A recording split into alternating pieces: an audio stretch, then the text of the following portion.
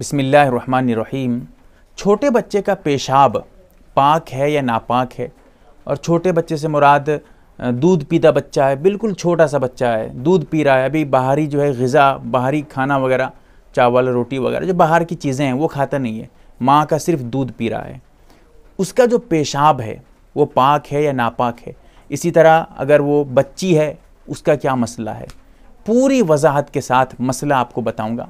दलाइल अगर आप देखना चाहें तो तिरमी शरीफ की जो शुरुआत हैं, जैसा कि तोहफ़तुल अलमई है, उसमें आप उठा कर देखें। पूरी तफसीलात दलाइल मौजूद हैं उस पर आप यहाँ आपको मसाइल बताऊँगा।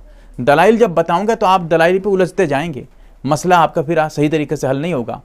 तो इसीलिए यहाँ पर मसला याद रखें, वो आपके लिए बहुत अहम है।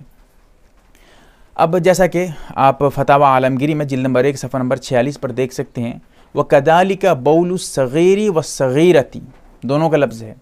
और आकिलन औला, ठीक है, अब समझिए। चाहे वो बच्चा हो या बच्ची हो, दोनों का मसला एक ही है, बराबर है।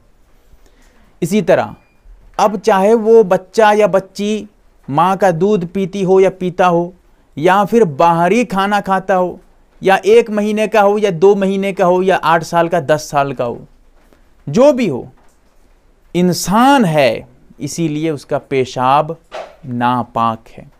हाँ उसमें बच्चों के जो बाहरी गज़ा नहीं खाते हैं, उस पेशाब में जो है ज़रा तखफीफ है, उसको इतनी सख्ती से धोने का हुक्म नहीं है, लेकिन तब भी धोआ जाएगा। हाँ जिस तरह आम जो है, बड़े बच्चों की जो है बड़े, जो बाहरी गज़ा खाने वाले जो है, बच्चों का जो पेशाब है, उसको जिस तरह धोआ जाता है, अच्छी तरह से रगड़ रगड़ के इस तरह करके, इस तरह तो हुक्म नहीं है, लेकिन हाँ ऐसा नहीं है कि बच्चों का पेशाब पाक हो गया। लोगों को धोखा लग जाता है, वो पाक समझ के बैठ जाते हैं। बच्चा छोटा बच्चा दूध पी रहा है, माँ के गोद में पेशाब कर दिया, अब माँ समझती है कोई बात नहीं, बच्चा था, इसलिए पेशाब तो पाक है, छोटा बच्चा, बाहर का खाना खाता नहीं है। बिल्कुल गलत मसला है। हाँ यहाँ पर लोगों को इस मसले से एक धोखा ये भी लगता है, जब बच्चा पेशाब कर देता है, वो ये समझने लगती हैं औरतें कि अब नापाक हो गई औरतें। अब जो है, नहाना पड़ेगा, गुसल करना पड़ेगा। ये भी गलत सोच है, गलत मसला। सही मसला यह है, बच्चे का पेशाब हर हाल में नापाक है, चाहे वो किसी भी तरह बच्चा या बच्ची, जो भी हो, चाहे बाहर का खाना खाता हो, नहीं खाता हो। लेकिन पेशाब जितनी जगह पे लगेगा, सिर्फ़ उतनी ही जगह नापाक है। उन्हीं जगह को अगर आप धो देते हैं, साफ़ कर देते हैं, सिर्फ़ गोद में पेशाब किया था, आप गोद में पानी डाल के धो देते हैं, पैर में पेशाब कर दिया था, आप पैर को धो देते हैं, आप पाक हो गए। पूरा जिसम आपका नापाक नहीं हुआ। इसीलिए पूरे गुसल करने की ज़रूरत नहीं है। अब इस चक्कर में क्या होता है? इस मसले को गलत समझने की वजह से बच्चा पेशाब कर दिया तो औरतें नमाज़ भी छोड़ देती हैं। अभी गुसल करना पड़ेगा कौन गुसल करेगा? सुस्ती की वजह से।